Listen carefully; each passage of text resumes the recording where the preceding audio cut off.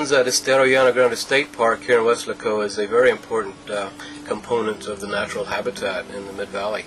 Uh, the lakes at Estero Llano Grande were recreated, farmland actually, uh, at one point, and they uh, were made by by staff, uh, Parks and Wildlife staff, into wetlands uh, that function as real wetlands. They fluctuate with the seasons. They're able to uh, lower and and uh, heighten the, the water levels in the lake in the different wetlands, and uh, that's really important because of the different shorebirds and uh, wintering birds that use the habitat. Uh, the water levels needs to be able to fluctuate, and the wetlands is a very important component of our habitats in the valley. We have a lot of thorn brush and, and a lot of other habitats, but if we didn't have water, the wildlife that depends on it wouldn't be able to live here. So. One of the things that we really enjoy doing is partnering with Estero Llano Grande State Park and, and taking field trips to there, bringing children for our nature uh, camps or our, uh, what we now have a wonderful partnership in doing is the Kids Nature Club.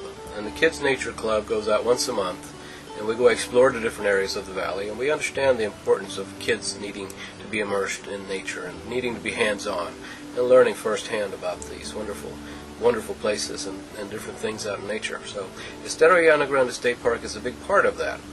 The, uh, the wetlands there co- are comprised of uh, many shallow lakes that are uh, full of reeds and, and cattails and different water aquatics that's used by nesting birds, by the fish and the frogs and all the other reptiles that live there.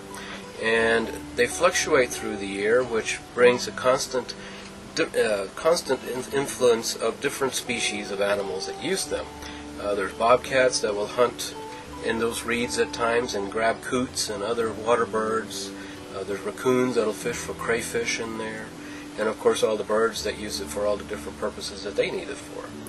Uh, there's also some deeper lakes there, and some resacas, some old oxbow lakes.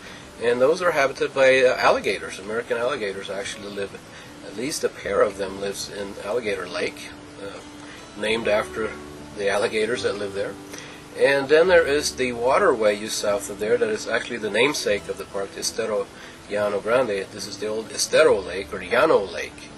And Llano Lake is actually the beginning of the floodway uh, and the beginning of Arroyo Colorado uh, fl- uh, flooding shed that goes through the whole valley, goes out into the Gulf of Mexico.